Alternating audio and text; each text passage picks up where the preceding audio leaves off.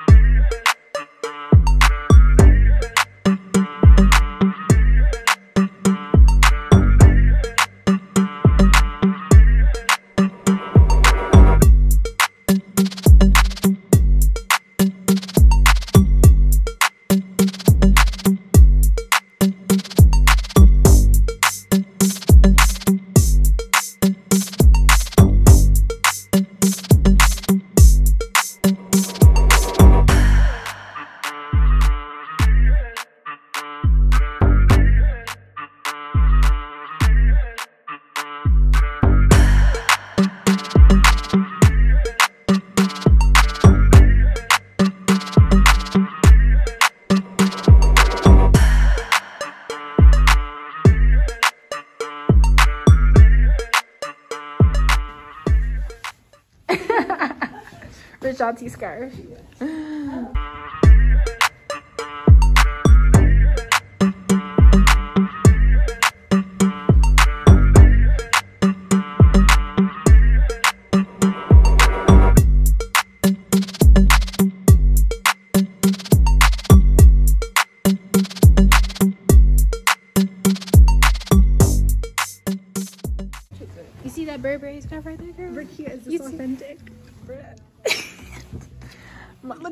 Look, look at Janet. she like, is that a real Burberry? Uh, I'm done.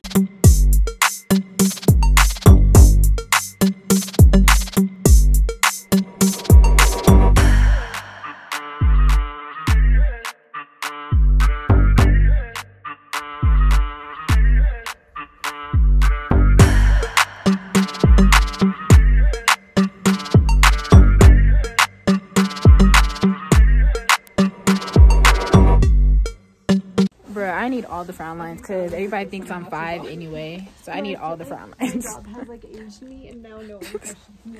no, okay. Like it all went.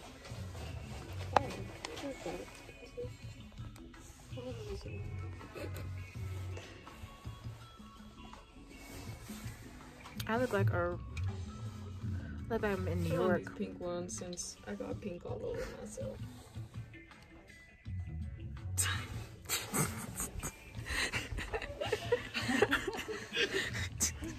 Then we really will be super cool about this stuff. You guys are so Janet funny. was like, uh, the pink. She's like, ooh, let me see. Let me try the pink one because I'm matching. I just like try those colors. Matching They're giving good vibes.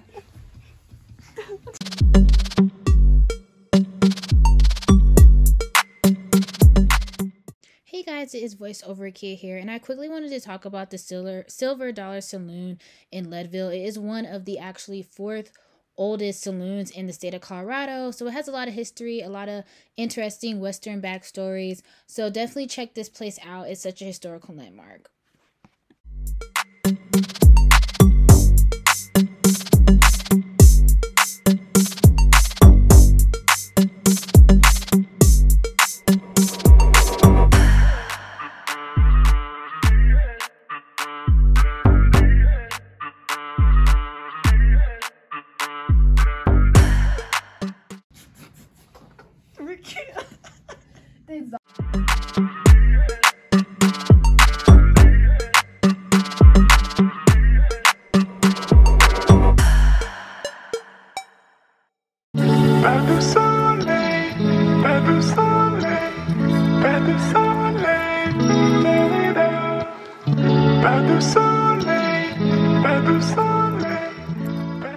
All right, these first two, these are my leaders here. We got Cowgirl.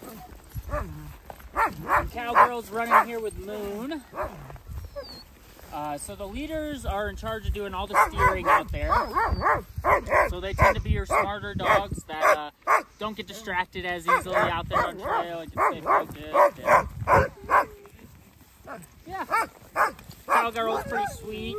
Uh, she's uh, probably my best leader. And uh, she's partially blind, so she's uh, pretty smart.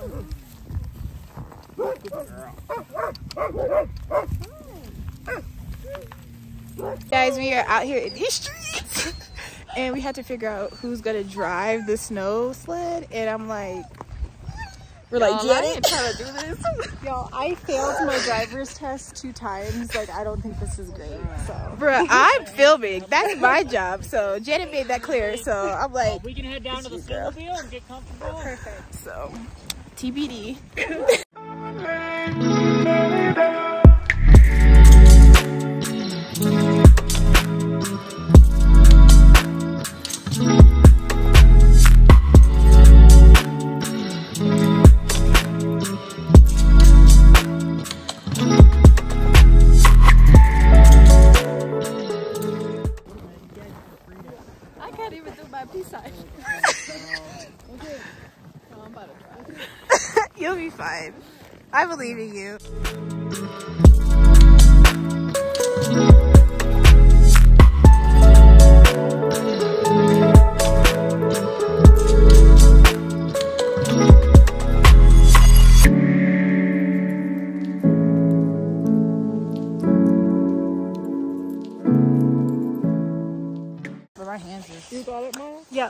we got Rikkea driving. Well, I could do the peace sign. Yes. so we'll see how it goes. I'm so excited. My best life.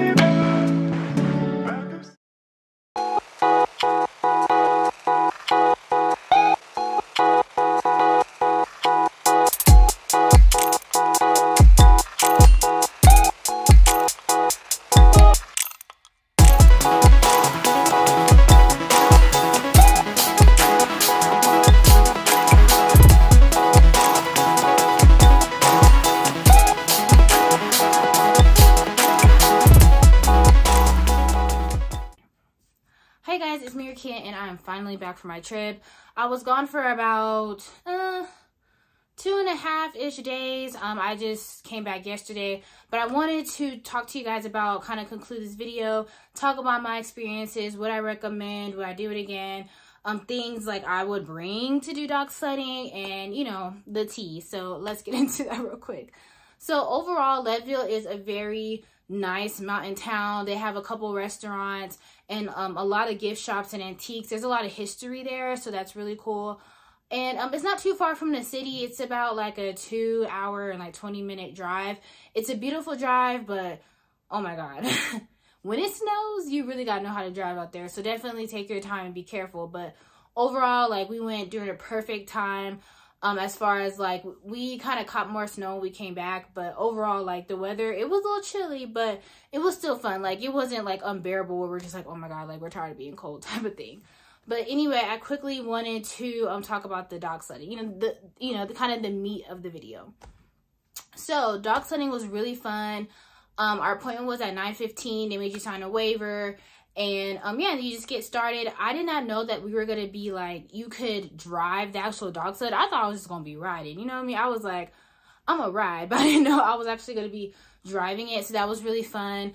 Um, it was me, Maya, Ann, and Janet. So that was one group. Well, one like yeah, one group, and then there was another group of feet three um it was a family from miami so they just kind of put us together so six people total and um as the second group that's when we actually um took turns driving me and janet but it was really fun. I highly recommend it. It wasn't too complicated with driving i mean obviously because if it was i wouldn't be doing it um with the sled but it was so much fun. Um the dogs are just so sweet and they just they love what they do. Like them dogs like they love it and it's really awesome.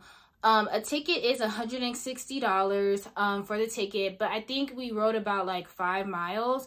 But five miles is enough because by the time like the cold and the snow, you're kind of after five miles, you're kind of ready to be like okay.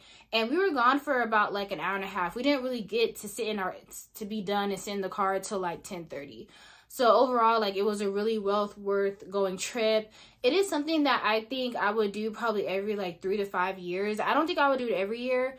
Um, if I would do it every year, I would choose like different locations, um, just so I could kind of get a different idea, different views. But overall, like I would definitely recommend marking this off your bucket list if you're a person that loves like outdoor activities, if you're a person that really likes um yeah like outdoor activities if you like winter sports or winter like activities um if you love dogs like those are things and they're so sweet and it was just really fun our instructor was really great and yeah it's uh they're and the thing is like they're small business but they are you got to res- RSVP like um I was overhearing um somebody was trying to make a um a group of 10 for like the next day and the guy's like yeah no we don't you know they like they don't have the they were booked basically. So if you are going to use um the same i think it was alpine adventure um dog sledding um i'll link their um if you're interested i'll link their uh website in the description box below but um yeah like you want to make sure you rsvp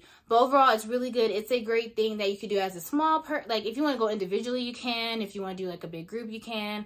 So it's good for all ages. Um like i said there was a family. And like the little kid he had to be like four maybe five. So you know it's great. So overall highly recommend 10 out of 10 but i quickly wanted to show you guys like what um to bring like what I wore. I was pretty warm. I think my hands were a little bit cold, but overall I was pretty warm. I was chilling, but um, just getting feedback from um Janet and Maya and my two best friends. Um I'm to kind of show you like what I wore and like kind of include their recommendations and their opinions as well. So, I guess I'll start with the bigger things. So the first thing I have is this fleece jacket and I love Patagonia. Like mine's always like Patagucci, keep Patagucci because I love Patagonia. So Patagonia sponsor me. Patagonia sponsor me. But anyway, this is a um, Patagonia fleece and it's really um it's really nice it's really warm and it's very breathable as well and it's really light so it's pretty basic and yeah so i wore this patagonia fleece um as my jacket but underneath i had a turtleneck. So i had a turtleneck sweater then i had this fleece. So pretty simple. Then i had my patagonia coat. And this is kind of a more puffier this isn't like the thinnest coat i have. It's like um probably the a medium size. And yeah i had this um jacket right here and it did the job. It was good. I was warm. Like I had no problem. My I was warm from basically. Like, my hands were a little cold, but that was because I was filming too, so I had to keep that in mind. But anyway, that was good. So that was kind of my jacket. Um, and then let me get to shoes. So I wore like I would recommend wearing some type of snow boots because you want something that's gonna get have some grip because you are going to be outside and it can be icy. So I just have these um Sorel um, boots, but they don't have to be Sorels. They could just be any type of good quality um, snow boots. And as for the jacket too, you notice it's not too long. Like you want something that's kind of at least like around your waist because if you are riding, you want to be able to bend down and get into like the actual sleigh. Just a heads up. Then I got the actual other goodies in my in my, other friend's Walmart bag. I know a couple Maya, so my other friend Maya, um, she let me borrow like most of the gear um from um like she let me borrow her ski pants and her goggles which i'll show you guys real quick but this is her bag so there's that but um i want to talk about like my pants so basically like i was like i said i was warm pretty much everywhere except for my hands but i wore these like long thick like stockings and this was my first layer of pant clothing. Then I wore like sweats, like normal sweats, and I put sweats on top, and then I put my ski pants. So that's kind of how I was. Um, let me show you guys my ski pants real quick. They're like deep down in here, you guys. I'm trying to, I should have made this in order, but it's fine. Okay, so these are the ski pants that I'm talking about right here. Simple. So like I said, I had my stockings, I had um, my sweats, and I had my ski pants. Then um, you also want to wear some, I'm trying to choose what I want to do, um, some really good quality thick socks. These ones are like special kind of socks because they have like some type of thermal, like they're, I don't know, they have some type of thermal protection or something in them. I got them at um Costco um like when it's really cold they have like you know those types of like big fuzzy socks. So definitely have some good socks.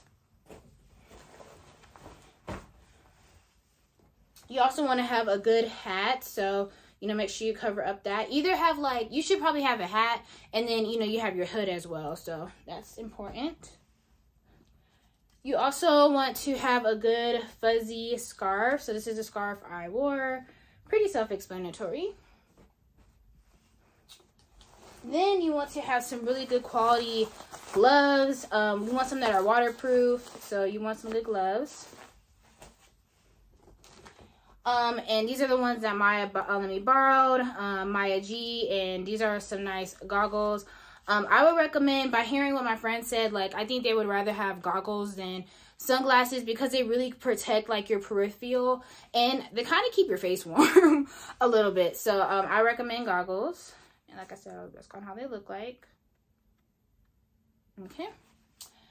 And then, um, this is optional. I did not use warmers, but these are um, warmers that you can. My dad gave me these. Um, he had some left over, but yeah, you can use these. Um, these are some foot warmers that you can. I know um, Maya and, and Janet were saying how like they're um they were saying how like their feet were, were, cold and they like recommend like putting two layers of socks if you want to. If not then you want to probably get some like insole warmers so yeah you want to get some insole warmers so.